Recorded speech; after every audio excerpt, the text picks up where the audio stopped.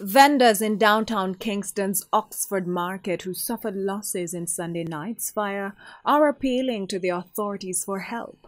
The vendors, some of which were sleeping at the market, says the losses amount to millions of dollars. Frontline News understands that the fire started shortly after 11 o'clock.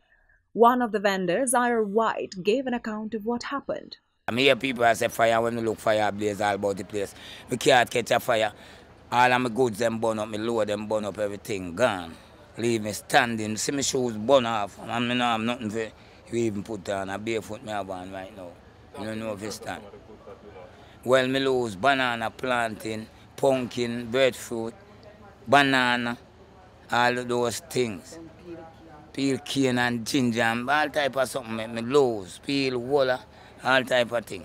Me lose. Me remember some of them because I kind of feel boomy right now because I first me really I experience them danger or something. When our news team revisited the location, the vendors were seen assessing the damages and removing debris. It is understood that the vendors lost items such as agricultural produce, dry goods, and equipments. Orville Lyons says all his goods were damaged. I just start cleaning out to make things more easier and the government side. You, you understand me? So I burn out still, I don't have nothing still. So I know that you will give me something, some way, somehow. Okay, what you lost in the fire? No, I lost some, I lost some chair and some, some valuable thing like some speaker and all them way. I have some sound box and the whole of them burn. We could sell in, I do on the road, the start and go out, all of those things. Yeah? Another vendor, Lucinda Allen, says she needs help to restart her business.